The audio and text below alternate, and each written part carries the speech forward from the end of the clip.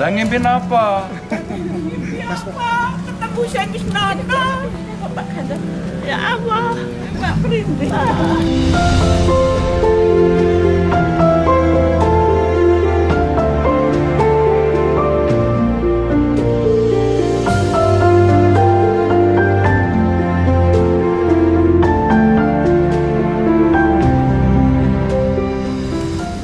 Dhisik enek kolam iwak ki sing endi ya? Oh, aku nang ngising nang kono dhisik. elingan kae yang kamu bahas itu tuh nang kene yo nang iki dibuka Lah kolame terus garing iki piye?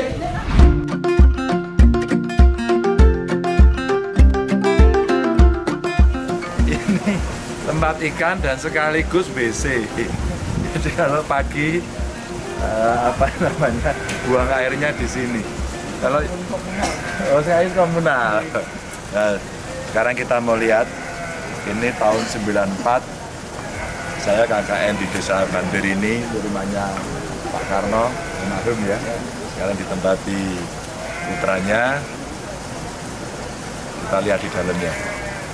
Masih sama seperti dulu atau berubah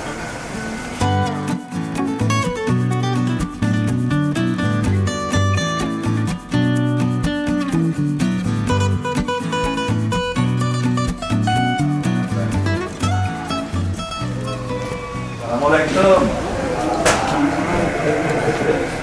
Mas kula kakek jenengan iku sinten ya ngecerita niku sinten ngoten Aku ngecerita kami tuh warin pamor pemerintahan pemerintahan. Jadi di sini ini rumahnya Pak Karno. Pak Karno itu kaur Pemerintahan. Ini orang keuangan. Kades kan teng ngisor niku. Tiga puluh lima, ya tiga puluh lima tahun menjadi Pak Yamin aja Pak, Pak Yamin. Yamin sambut sedo. Pak Yamin. Pak Macan. Oke. Satu. Kacau deh, ada hati Nono. Oke, mestinya. Dia di kusok tidak mau. Oh ya, lu ngotor, nang kakak enak ini terus bijine elek. Apa namanya?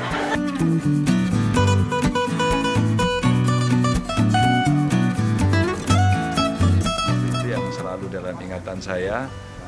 Pokoknya depan rumah sebelah kiri itu ada tempat ikan. Itu yang sangat memorable. Karena setiap hari itu tidak banyak yang berani di situ. Saya.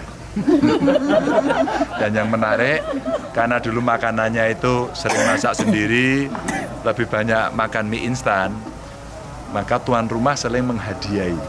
Ya, seminggu sekali makannya enak dan makannya makan ikan.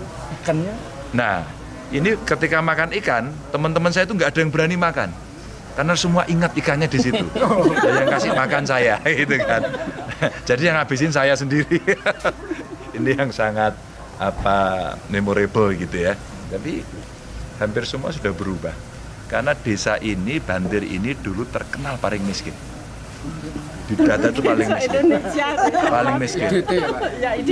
Dan yang menarik, kadesnya ini berani. Maka dalam catatan itu paling miskin.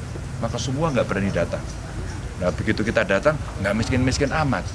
Lalu kadenya saya tanya waktu itu, Pak, lo ini nggak miskin banyak, nggak miskin-miskin banget kok Anda ngaku miskin? Kan mau dapat bantuan, Pak.